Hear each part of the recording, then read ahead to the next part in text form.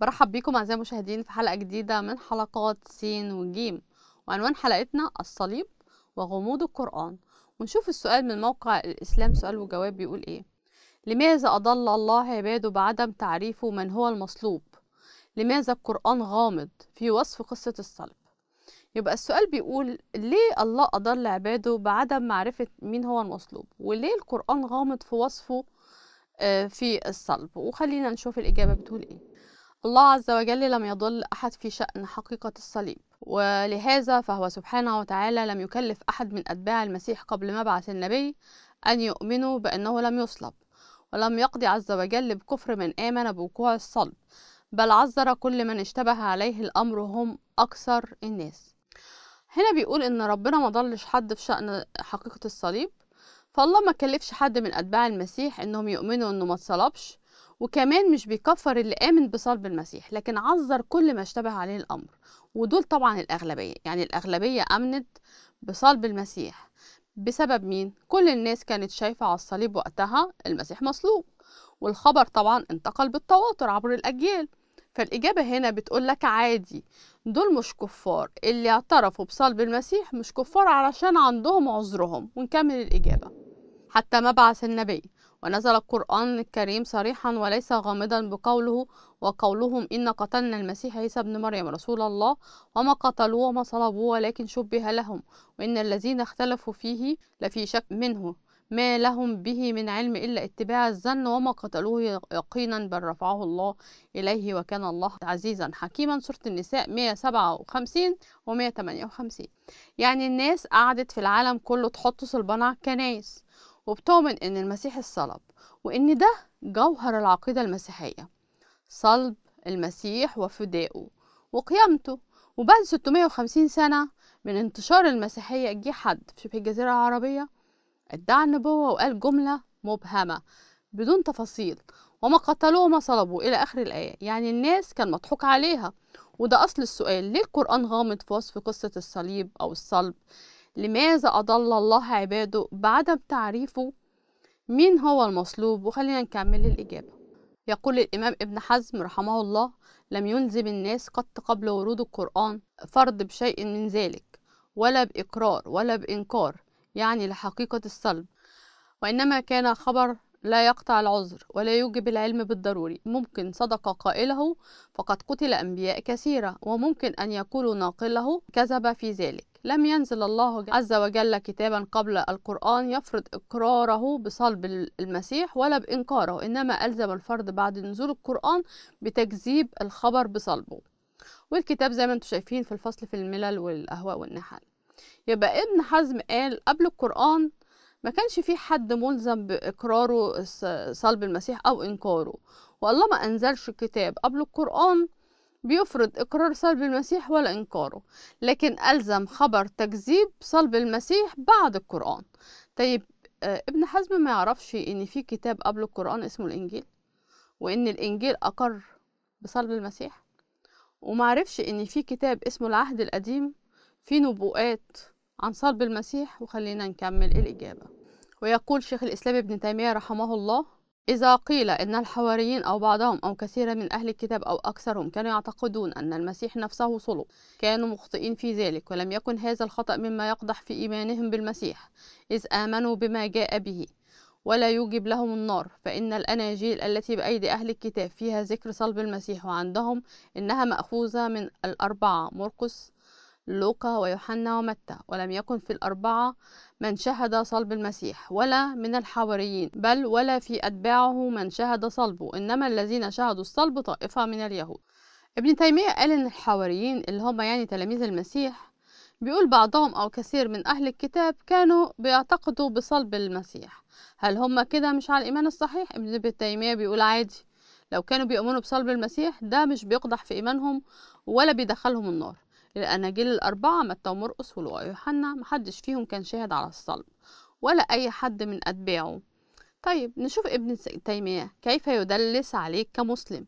وطبعا ابن تيمية يا إما ما قراش الإنجيل أو جاهل يا إما قرأ وبيدلس وبيستغل جهلك. أنت كمسلم غير قارئ للإنجيل وأنا هقدم جزء بسيط جدا من الإنجيل على من هم شهود العيان قبل الصليب ووقت المحاكمة وفي أثناء الصلب لأن شهود العيان كثير جدا.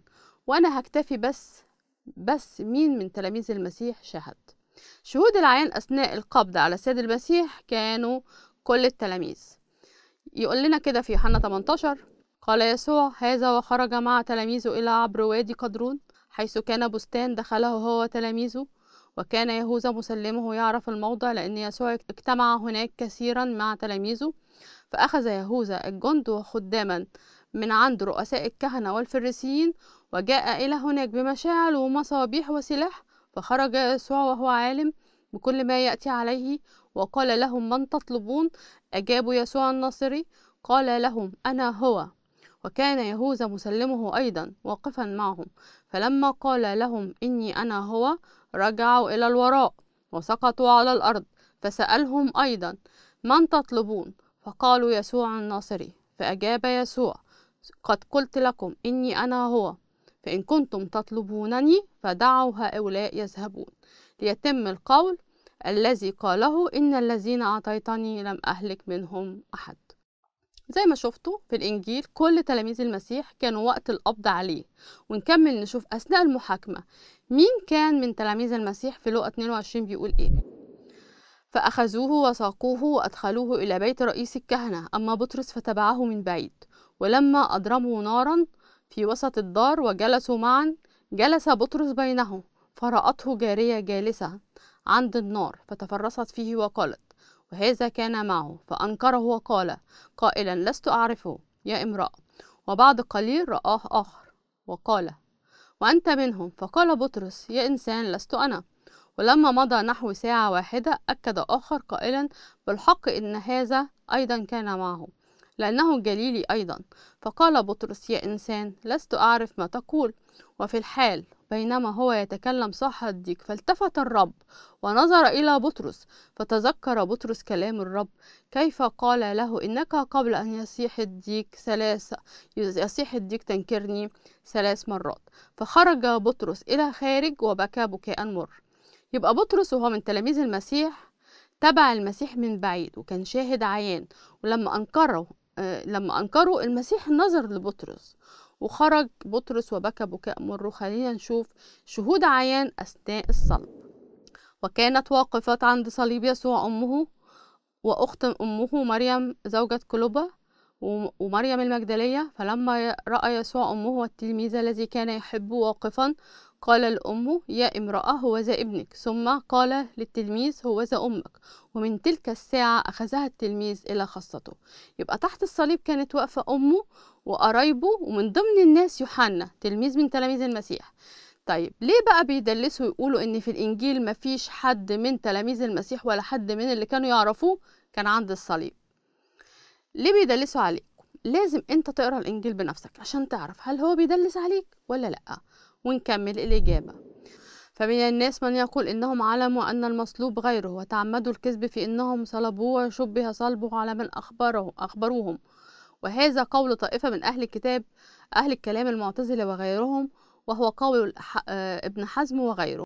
ومنهم من يقول بل اشتبه على الذين صلبوه وهذا قول أكثر الناس وراح ذكر سورة النساء 157 شبه للناس الذين أخبرهم أولئك بصلب. الجمهور يقول بل شبه للذين يقولون صلبوه.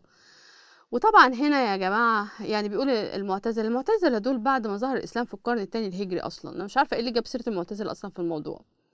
وأنا بطالب يعني اسم باسم إنسان واحد بس قال إن المسيح ما اتصلبش لمدة 650 سنة.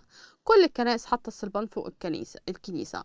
وتلاميذ المسيح اللي هم بيسموهم الحواريين ماتوا مستشهدين من أجل تبشيرهم بفداء المسيح. مين اللي مصلحته ينفي هذا الحدث العظيم؟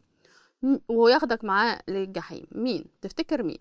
فكر لأن لو الله فعلا عمل موضوع الشبيه ده أنت كده يعني بتوجه إساءة للإله. إنه مش عارف المستقبل وإن ناس كتير هتضل وان يكون هو سبب الضلالة وإنك لما تؤمن بصلب المسيح وفدائه ده يعني هنقذك من الضل... هنقذك من الجحيم وخلينا نكمل الإجابة. وبهذا تعلم أن قضية صلب المسيح لم تكن يوما اختبارا وامتحانا للتميز بين المؤمنين والكافرين كما لم تكن مناطا للحكم بالهدى أو بالضلال إلى آخر الكلام. يبقى هو بيقول لك هنا إيه؟ إن قضية صلب المسيح دي ما كانتش امتحان ولا اختبار إنها تبين المؤمن من الكافر ولا اللي مهدي من اللي هو في الضلالة.